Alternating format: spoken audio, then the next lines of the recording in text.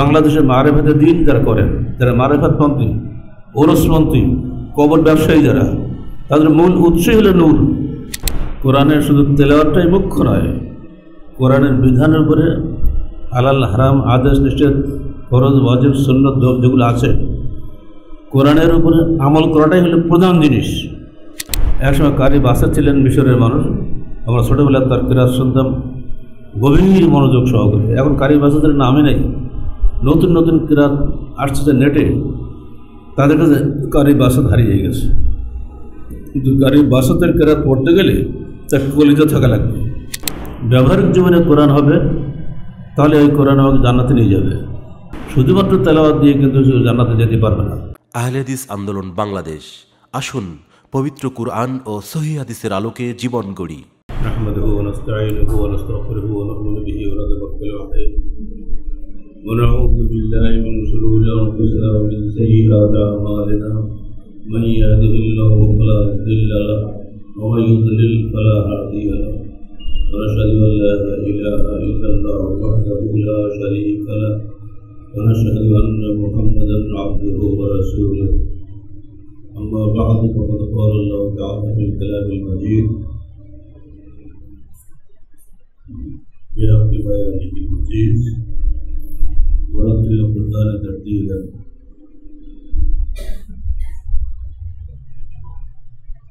اقرأ باسم ربك الذي خلق আমরা যেটা বলি এটাই কোরআনের প্রথম আয়াত প্রথম পাঁচটি আয়াত একসঙ্গে নাজিল এর দ্বারা আল্লাহ রসুল নবুল প্রাপ্ত হন একে বলা হয় নজরুল ওয়াহি বা ওহিয়ে নবুয়াত এই ওহি পাওয়ার পরে তিনি ভয়ের বাসা দিয়ে সম্মেলনে সম্মেলনে আমার চাদর পড়ে দেওয়া চাদর পড়ে দেওয়া, এত ভয় পেয়ে গেছিলাম যেটা কী জিনিস? ফেরস্তা এসে আমাকে খুললো যদি চাপ দিল, কথা বলতে পারি না, দ্বিতীয়বার চাপ দিলেও করতে পারি না তৃতীয় চাপ দিলে, আমার কথা বেরিয়ে গেল। তো আমি কোনো লেখাপড়া জানি না। এর পনেরো দিনের মধ্যেই, ইয়া মুদাসসির কুম ফাহাদের আসিয়াল মুতাফির ওয়াহিদ ফাহাদের আয়াত নাজিল পাঁচটা আয়াত। আগের পাঁচটা, ওহি নবুয়াত পরের দিন দুই শত পরে আবার পাঁচটা, ওহি রিসালাত। কুম ফাহাদের ওঠো, মানুষকে ভয় দেখা আর কি বুঝতে উপর আছে? আগে নবুয়াত পেলে এবার তাকে উঠতে হবে। জনগণের কাছে যেতে হবে। এবং তার কাছে পাঠানো রিসালাত প্রচার করতে হবে। আল্লাহ রসুল প্রচার করার জন্য বেরিয়ে পড়লেন। তিনি যদি সারা জীবন কাবাগরের চারিপাশে মাতাফে বসে কোরআন তেলাওয়াত করতেন, তাহলে কেউ তাকে ডিস্টার্ব করতো না। তার সুমধুর কণ্ঠের তেলাওয়াত শুনে মানুষ পাগল হয়ে যেত। তার সবচেয়ে বড় শত্রু যে নজর বিন হারেস, তার কোরআন শুনে পাগল হয়ে গেছিল কি কী বলে? এ যে আমার হৃদয়টা কেড়ে নিল? আমি কী করে ওর সত্যতা করব? আবুজাল বলতে চাষা আপনি একটু ওনার বিরুদ্ধে বলেন। তা আমি বিরুদ্ধে বলতে পারছি না যে, ও তো কোনো খারাপ কথা বলে না। সেটা সহজনে পড়েছিলেন, পরপর কয়েকটা এরপরও তারা বিরোধিতা করেছিল হিংসায়। ওয়াহিয়ের রেসালাতের অনুসারে আমরা। মুসলিম উম্মা তার রেসালাতের উত্তরাধিকারী। যদি তিনি সেদিন ওহি প্রচার না করতেন, কিন্তু ওইখানেই বসে থাকতেন, পিতৃহন্তা ব্যক্তি যেখানে গেলে ক্ষমা পায়, ওনার কোনো সমস্যা হতো না, সারা জীবন ওখানে বসে কেরাত পড়তেন না মানুষ সুন্দর কেরাত শুনেছিলেন ও মোহাম্মদ খুব ভালো কেরাত পড়েছে, সুন্দর কথা বলেছে, এই বলে চলে যেত তাই না? কিন্তু না, যখন তিনি বেরিয়ে এসে দাওয়াত দিলেন আর প্রথম দিনে ইট খেলেন, পাথর। মাথা ফেটে ফিনকে দিয়ে রক্ত বেরিয়ে গেল। উনি চুপ করে সহ্য করলেন। তিনি আমি আল্লাহর হুকুম পালন করছি। এই দৃশ্য এক মহিলা দেখল। সব কিন্তু কাফের। চলে গেল নেতার কাছে, আবু জাহেলের কাছে। তোমার ভাতটা মার খাচ্ছে। আর তুমি চুপ করে বসে আছো? এটা শোনার পরে আবু জাহাল তখন দরজা করলেন বাইরে আসলেন। ভাতিজার মহব্বতে তিনি দুর্বল হয়ে গেলেন। তৎকালীন সময় আরবদের মধ্যে বংশগত প্রেরণা খুব বেশি ছিল। উনি আর বাড়াবাড়ি করলেন না। কিন্তু যেহেতু মেরেছে, সে আবুজালের দলের লোক। ওই দিনই সৈয়দুর সোহাদা হামজা বিন আব্দুল মুতালেব ইসলাম কবুল করলেন। যার ইসলাম কবুল করার কথা না। এই জন্য যে যে কোরআন শুনে আজকে আমাদের ভাতিজা মার খেলো, আমি ওই কোরআনেরই অনুসারে হলাম। কি আসে তো কিছু জানে না কেউ, কিছুই জানে না। কোরআনের যেটা প্রভাব এমন প্রভাব যে মানুষকে শত্রু বাড়তে পারে না। বলতে পারেন, হিফজুল কোরআনের এই প্রশিক্ষণের দেওয়ার পর সঙ্গে সঙ্গে আমি কিন্তু আদৌ ইতস্তত করিনি। যখন শাহিদুর রহমান সাহেব আমাকে দাওয়াত দিয়েছেন, আমি তোমাকে আগের দিন থেকে চিনি না। হ্যাঁ? নাজমুদ্দিন পাঠান। আমি কোনোদিন চিনি না, দেখিও নাই। বলে আপনি পাঠান কেন? পাকিস্তানে নাকি? রসিকতা করে বললাম, কারণ আমি যখন ডক্টরেট করি, বাংলাদেশের যে সমস্ত মানুষের নামে সে খুনকার আছে। তারপরে অনেক কিছু নাম আছে যার দিকে বোঝা যায় লোকটা বাংলাদেশি লোক না। তখন সে বলতে পারে না, তখন সে হাতড়িয়ে হাতড়িয়ে আমার সঙ্গে গল্প করে যে আমার বাপ অমুক ছিলেন অমুক ছিলেন অমুক ছিলেন। করতে তো একসময় বেরিয়ে যায়, ওনারা আসলে বালাঘড়ের মোজাহিদ। ওইসব দেশ থেকে ব্রিটিশের তাড়া খেয়ে বাংলাদেশে আসছিল কারণ ব্রিটিশের সৈন্যরা নৌকা এবং পানিকে খুব ভয় করে। এখানে আসলে ডুবিয়ে মারবে সেই ভয়ে এখানে আসতে না। ফলে তখনকার সময় তারা যিনি হকের প্রচারক ছিলেন, যাকে আমরা আহলাদিস বলছি, তাদের অধিকাংশ এই এলাকায় উত্তরবঙ্গে নদীর ভয়ে, পদ্মা নদী, যমুনা নদী, করদ নদী চারদিন নদী আর নদী, ওরা তাড়া দিয়ে ওই পর্যন্ত যেতে পারে যত গাড়ি চলে। ওর ভেতরে তারা যেতে পারে না। তো বংশের নাম ধরে ধরে আমি বহু তথ্য পেয়ে গেছি। ওনার নাম আসলে পাঠান থেকে আমি বললাম আপনি পাঠান কেন? আপনি নিশ্চয়ই পাকিস্তান থেকে আসছেন। যদিও ইন্ডিয়া বললেও আসলে ইন্ডিয়া তো আলাদা ছিল না। এমনি করে করে মানুষের বংশগত নামটা মানুষকে ভালোবাসে। কেউ ছাড়তে চায় না। আমি বলি, এটা পাল্টানো ঠিক না। মানে গ্রাম নাম পাল্টানো ঠিক না। কৃষ্ণনগর ছিল, এখন হয়ে গেছে। যেমন আমাদের অত্যন্ত বড় একটা মাদ্রাসা আছে, জামালপুরে, আরামনগর সিনিয়র মাদ্রাসা। আমি যেখানে ছাত্র ছিলাম। তাহলে আরাম করলে এখানে আসলে কি মানুষটা আরাম করে? কিন্তু স্যার, আসলে আরাম না। নাম ছিল রামনগর। মরানা কাউ সাহেব এসে এখানে, ওই গ্রামের সঙ্গে আর যোগ করে দিয়ে গেছে, আরাম করে দিয়ে গেছে। তো এই জন্য তোমাদের কবরে লেখাপড়া নেই। খালি আরাম করে, খাওয়া বলে ঘুরি বেড়াও। বলে, নামটা পাল্টানো ঠিক হয়েছে রামনগর ছিল বুঝতেছি আগে এসব লোকেরা হিন্দু ছিল। এখন তারা চলে গেছে। তাই আমি যদি রাম করে আরাম বানিয়ে ফেলে দিই, তাহলে ওই পুরো তথ্যটা কিন্তু হারিয়ে যাবে। যাই হোক, এরকম হয়ে থাকে। যখনই আমি শুনেছি এটা হেফজুল কোরআনের বিষয়, এবং শুনেছি রাজশাহী শহরের মধ্যে আমার একটু ইতস্তত করেনি তাহলে আমাকে যেতেই হবে। আগামীতে আমরা যদি কখনো হেফজুল প্রতিযোগিতা করি, সেখানেও আপনাদের ডাকবো। পারস্পরিক দূরত্ব কমে যাবে না। মূলত এটি ছিল আমার মূল উদ্দেশ্য এখানে আসার। আমাদের মার্কাজের হেফজ বিভাগের প্রধান এবং সহকারী প্রধান দুজনই ডান পাশে বসা আছেন। এর কাছে শিখেছেন আমার ছোটো ছেলে সহকারী প্রধান। দুজনকে নিয়ে আসে তোমার চলো, দেখে এসো। তোমাদের অভিজ্ঞতা হাসিল হবে। সময় নেই বলে ওনাদের দিতে পারলাম না, যে বুঝতে পারতেন। অনেক পুরনো মানুষ ওনারা। মূলত কোরআন কীভাবে পড়তে হবে আল্লাহ নিজেই বলে দিয়েছেন। ওরাত্তিল্লা কোরআন তারতিলা কোরআন তোর তার তিলে পড়ো আমরা চারটে বলেছি, তাহাকিক তারতিল হাদার আরটা কি জানো তকবীর, তদবীর। চারটে ভাগ করেছি আমরা। কিন্তু কোরআন কিন্তু তারতিলই পড়তে হয়। জাইনুল আসমাদ কমিল কোরআন। তোমরা তোমাদের কণ্ঠকে কোরআন দিয়ে সৌন্দর্য মণ্ডিত করো। এমনভাবে কেরাত পড়তে হবে যাতে শ্রোতার কানে শুধু কান নয়, হৃদয়ের কোণে কেরাতটা বসে যায়। এর বিপরীত কিছু করলে এরা যত মাখরাজ সহ উচ্চারিত হোক না কেন, সেটা মানুষের অন্তরে দাগ কাটবে না। শুধু মনে রাখতে হবে, এই কিরাত শুনে আবু জাহেল এক সময় নাজার বিন হারেস মধ্যে সবচেয়ে বড় শত্রুর অন্তর গলে গেছিল। এই যুগে যারা কোরআনের শব্দ তাহলে কোরআনের তেলাওয়াত শুনে ভুলে যাবে। কোরআন ব্যাখ্যা দেওয়ার প্রয়োজন নেই।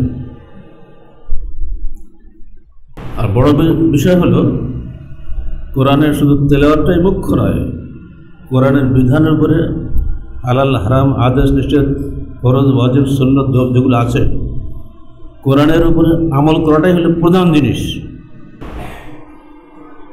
ব্যবহারিক জীবনে কোরআন হবে তাহলে ওই কোরআন আমাকে জান্নাতে নিয়ে যাবে। শুধুমাত্র তেলাওয়াত দিয়ে কিন্তু জান্নাতে যেতে পারবে না। একসময় কারি বাসা ছিলেন মিশরের মানুষ। আমরা ছোটোবেলায় তার কিরাত শুনতাম। গভীর মনোযোগ সহকারে। এখন কারি বাসাদের নামে নেই। নতুন নতুন কিরাত আসছে নেটে। তাদের কাছে কারি বাসাত হারিয়ে গেছে। কিন্তু কারি বাসাতের কিরাত পড়তে গেলে তার কলিতে থাকা লাগবে। এক কথা ঘুরিয়ে ফিরে ঘুরিয়ে ফিরে কতবার যে বলবেন? এর ব্যাখ্যা কী? যেন কোরআনকে চিবিয়ে খাচ্ছে। এখন ওগুলো আস্তে আস্তে আস্তে আস্তে বাদ হয়ে গেছে। এমন করে কোরআন দিন দিন খুব সুন্দর হয়ে আসছে যা শুনলে অন্তরটা গলে যায়। আমরা এখানকার প্রশিক্ষণার্থী ভাইদের উদ্দেশ্য করে বলছি, মূলত কোরআনের তেলাওয়াত মুখ্য নয়, কোরআনের উপরে আমল করাটাই মুখ্য। দ্বিতীয় কথা হলো, কিছু কিছু বিষয় রয়েছে যেগুলো অনারবরা ভুল করে এবং করবেই। যেমন ধরে আমরা সালাতের সময় দোয়াল্লিন বলি, তাই না? এদের সাথে বিভেদ সৃষ্টি হয়েছে, আমাদের যখন প্রাথমিক জীবন ছিল, মসজিদে মারামারি হতো। দলেন বলে ধর ওকে। জলেন বলেছে ওকে ধর। দুই দলের দুই মসজিদ। এটা জল্লেনের মসজিদ, এটা দলেনের মসজিদ। এখন সেদিকটা আস্তে আস্তে চলে গেছে আমাদের উদারতার কারণে। আর আফসাফ আলী থানবী যিনি জামালুল কোরআনের লেখক কেরার শাস্ত্রের অত্যন্ত গুরুত্বপূর্ণ ব্যক্তিত্ব মহাদেশের তিনি পরিষ্কার বলে দিচ্ছেন যে দাল উচ্চারণ আদৌ হবে না, বিলকুল গলত হয়, ওনার ভাষা হচ্ছে। বরং এটা তিন ভাগ দুই ভাগ জোয়া উচ্চারণ হবে। এটাকে যখন আমরা পড়তে যাই ওখানে গিয়ে আর কোনো অবস্থাতে জোয়ার ধারে কাছে আমরা যাই না, যেহেতু আমরা হানাবি। যদি জোয়া বলে তাহলে চলে যাবে। উচ্চারণ শুনলেই আমরা বুঝতে পারি যে এর মধ্যে এই মজাবের লোক। এই মজাবের বিভেদ যারা সৃষ্টি করেছেন, তারা যখন ভুল করেছেন, মুসলমানদেরকে চারটে ভাগ করে দিয়ে দিয়েছে। আমাদেরকে অবশ্যই এই বিভক্তের বিরুদ্ধে দাঁড়াতে হবে এবং আবদুল্লাহ বাদ দিয়ে হাবদুল্লাহর অনুসারী হতে হবে। বুঝতে পারছেন তো? আবদুল্লাহ মুখ্য নয় হাবদুল্লাহ মুখ্য ওয়াদাসমু বলেন তো। হাবদুল্লাহ জামিয়া বলা তাফার হবে হাবলুল্লাহ হবে মুখ্য। হাবদুল্লাহ হচ্ছে কোরআন এবং সুন্না ব্যাখ্যা যখন যাবেন, তখন আপনি নিজে বুঝতে পারবেন যে সমস্যাটা কোথায়। যদি আমি জোয়াল্লিন বলি, তার অর্থ হবে ছায়া দান করি। আর যদি দাল্লিন বলি, তার অর্থ হবে পথ প্রদর্শক অথচ সেটা ফাতে যে গোয়াল্লিন আছে, ওটার অর্থ হচ্ছে পথভ্রষ্টগণ।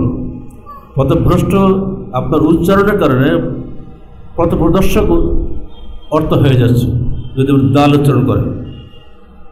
ঠিক অন্য করে যদি আপনি পুরা জোয়া বলেন, তার অর্থ হচ্ছে ছায়া দানকারী।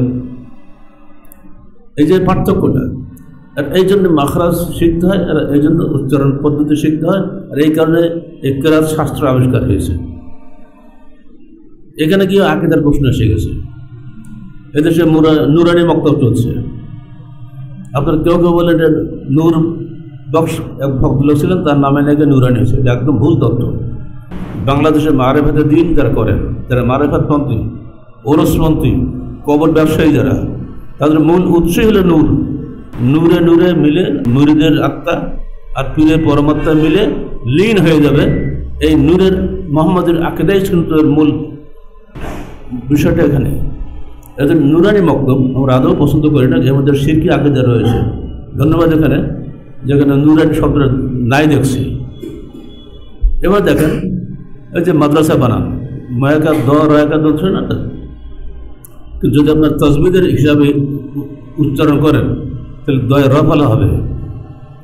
কারণ ইসমাত আছে আর একটা আছে, ইজলাল। স্লিপ করা। ইজলাল মানে স্লিপ করা।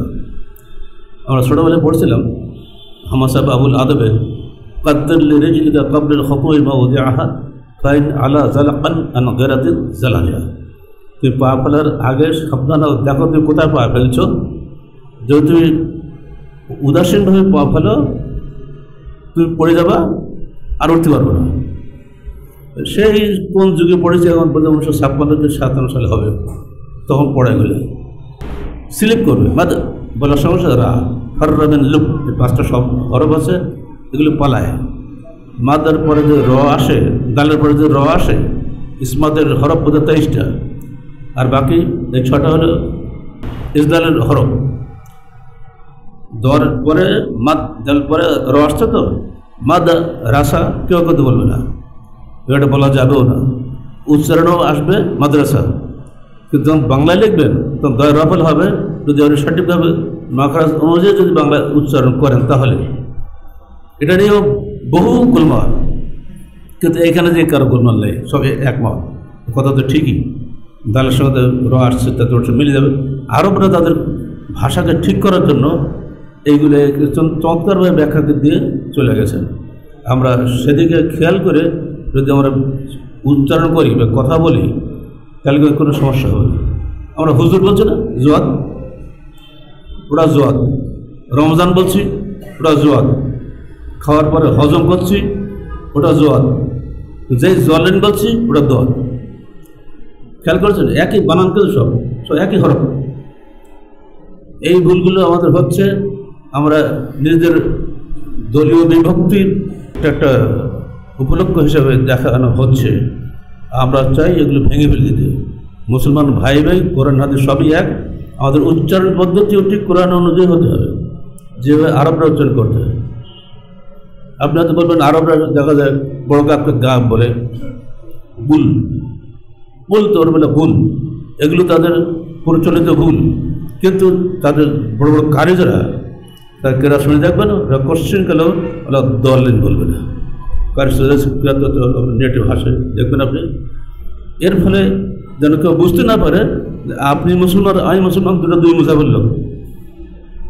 উচ্চারণগতভাবে এই পার্থক্য সৃষ্টি করে আমাদের ক্ষতি হয়ে যাচ্ছে খুব। ফলে আগে তো দলের দলের বিয়ে হতো না। আমাদের এলাকায় আমি প্রথমে এটা ভেঙে দিয়েছি।